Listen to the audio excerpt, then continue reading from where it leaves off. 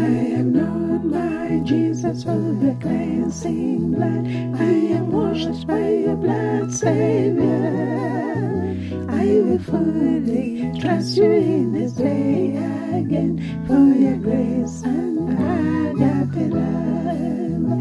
I am washed by your blood that you shed when you died for me.